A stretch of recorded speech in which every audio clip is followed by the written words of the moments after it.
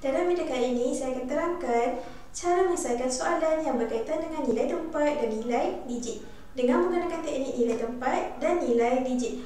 Okey, soalan tulis nilai tempat dan nilai digit bagi nombor 37. Okey, sebelum saya nak buat soalan ni, saya nak terangkan nilai tempat. Okey, nilai tempat mesti dalam perkataan. Kenapa nilai tempat dalam perkataan? Sebab tempat selalunya dalam perkataan. Contoh Kuala Lumpur, Subang Jaya, Bukit Tinggi semua dalam perkataan. Okey.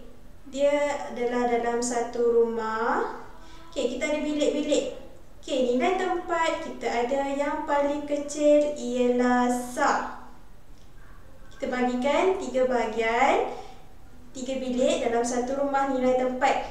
Selepas sa adalah puluh dan kemudian ratus. Okey, tengok soalan balik. Soalan beri nombor 37.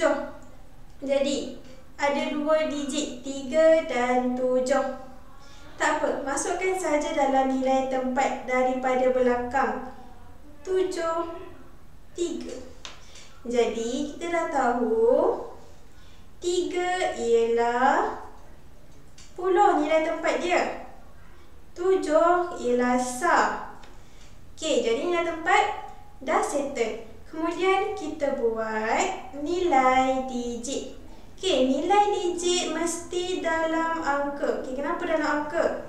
Sebab digit dalam angka. Kita bermula dengan sa. Sa kita ada satu tempat kosong ataupun satu rumah lah. Dan ada dua rumah. Satu, dua. Okey. Dan ratus kita ada tiga rumah. Satu, dua, tiga. Okey, tadi kita dah buat nilai tempat, betul tak? Kita tahu tiga ialah puluh. Jadi, awak masukkan tiga dekat puluh. Tiga.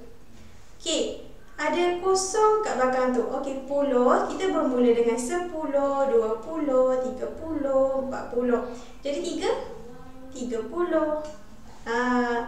Okey, kemudian tiga dah settle. Tujuh pula. Tujuh nilai tempat dia. Kita tahu tadi. Sa.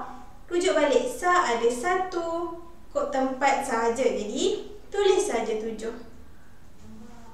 Ha, jadi kita dah tahu.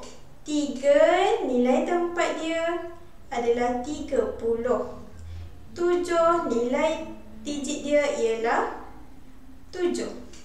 Okey, jadi dekat sini siapa yang faham teknik nilai tempat dan nilai digit boleh kami faham. Dan siapa lagi yang nak saya kongsikan teknik-teknik boleh tekan link di bawah.